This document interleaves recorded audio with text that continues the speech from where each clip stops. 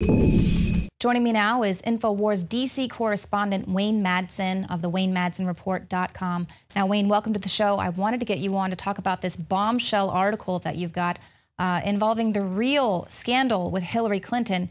It's not just her private email server, but what was actually going on uh, around that email server. Um, you're saying that evidence shows Clinton was running a parallel outsourced State Department answerable only to her. Talk to me about this. Well, yes. When you know when this story first broke, I, I was wondering why in the world mm-hmm. uh, did Mrs. Clinton not uh, just say, "Look, as the original classification authority uh, for uh, email, I determined this stuff was unclassified as Secretary of State." She certainly had the authority to declassify uh, these emails uh, uh, you know, before the fact. Say anything I use on my own per, uh, private server is automatically declassified. I worked in the State Department uh, Information System Security Branch and the Bureau of Diplomatic Security, and that would make sense. However, it dawned on me when I'm reading uh, about what she was using this system for and who she was communicating with officials of the Clinton Foundation, her, her husband, and her daughter's private nonprofit foundation. It's worth, you know, hundreds of millions of dollars. And uh, uh, an outfit called Teneo, which is a private consulting firm and investment company based in New York, uh, partly set up by a guy named Doug Band, who's the former uh, uh, close aide of Bill Clinton.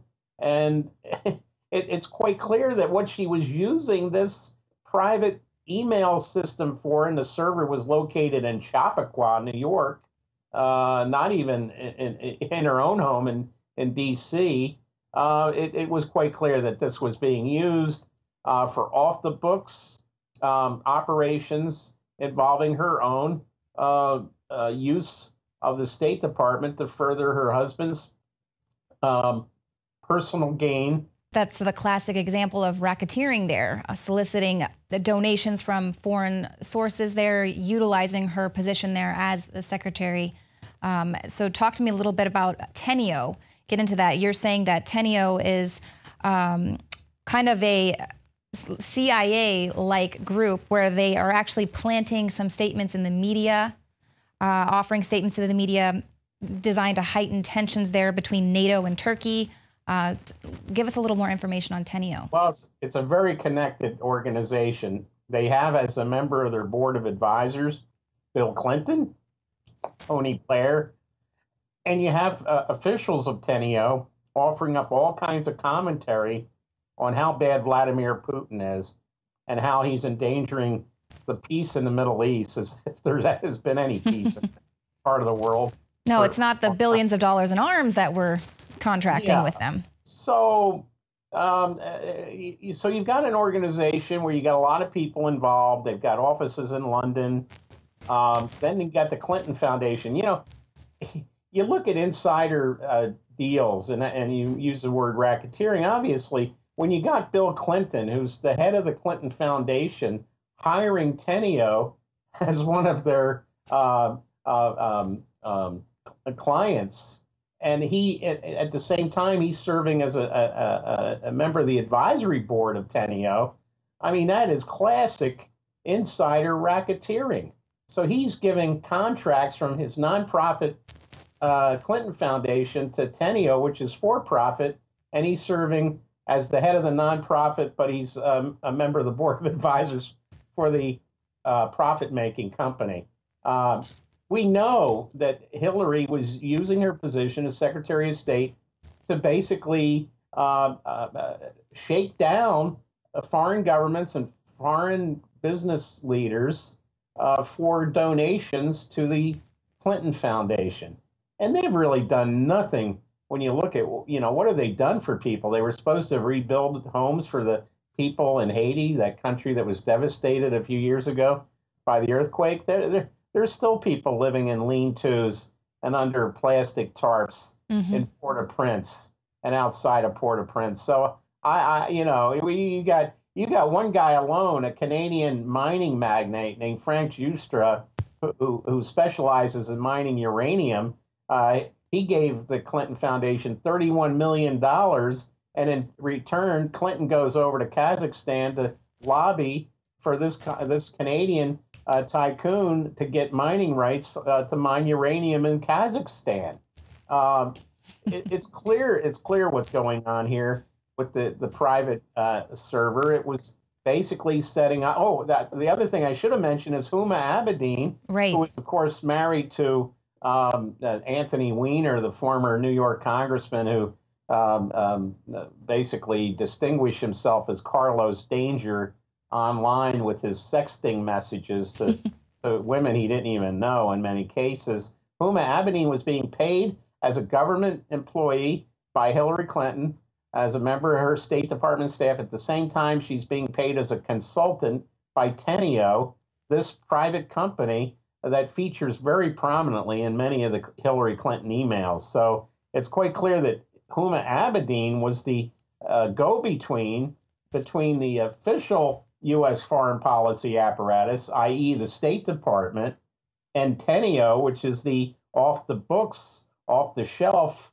uh, private U.S. foreign policy apparatus involving Hillary, Bill, uh, Chelsea Clinton Mezvinsky, who's also uh, a member of the uh, board of directors of the Clinton Foundation, Huma Abedin, and uh, you know, and then you get George Soros involved with the. He gives money to the, the Clinton Foundation. He's tied in closely with some of the people involved with Teneo. It's a nice little uh, racket, and uh, used to be in this country when the um, Justice Department would actually at least investigate uh, racketeering, and here we have a pretty a clear cut example of it. So, do you think that the wiping of Mrs. Clinton's emails was just uh, innocent, or do you think this is the classic case of an intelligence operation, the destruction of evidence? Well, like I said, if Hillary Clinton had just come out and said, "Yeah, okay, I did have this for my convenience, but I had I had used my authority to declassify it," it, it probably would have been over. But uh, like as with Watergate and all these other scandals, the cover up is worse than the original infraction or or uh, misdemeanor or crime, if you will. So yeah, she she wipes the um, the the the uh, uh, hard disk clean or orders it done. She doesn't obviously know much about uh, computers, and she's pretty much said that. And now we find out that uh, the backup company um, called Datto stored the backups in the cloud, so they're all retrievable from the cloud. Um, and so this one is clearly not over, uh, this scandal. And, you know, it's like Oliver North thought he was uh, deleting some of the um, emails uh, involving Iran Contra by just hitting the delete button uh, on uh, this IBM PROFS system they had at the White House. Yet it was all still uh, retrievable from the um, magnetic media. And that's exactly how the, the investigators got this information and, and used it to indict Oliver North and John Poindexter. And so this is almost a, a, a carbon copy of that, except Hillary, uh, you know, uh, thinks that she's going to be elected president as a result of this scandal, where most people with any uh, sense uh, would uh, drop out of the race, uh, not make it even worse, because she's got a lot of attention on her now. Right. She's and, got so many skeletons in her closet, and yet people continually make excuses for all the bones that keep falling out. Now, uh, just I guess briefly in the last couple of minutes, um, we've heard stories of about $6 billion being misplaced from Clinton's State Department. And we've heard that before 2.3 trillion missing. Um, Donald Rumsfeld came out and announced that the day before 9 11. Are, are, these shadow governments operating uh, right before our eyes?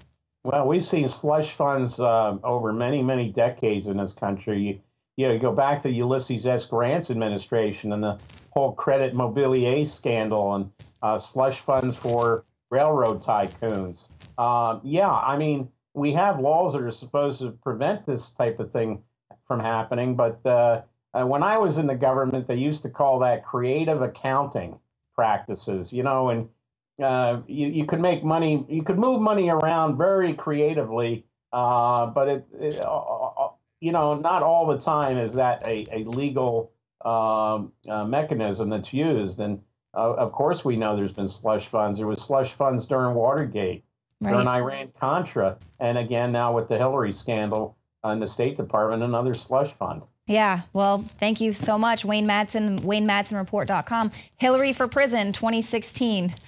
we'll talk to you soon. Hillary for prison, yes. Yeah.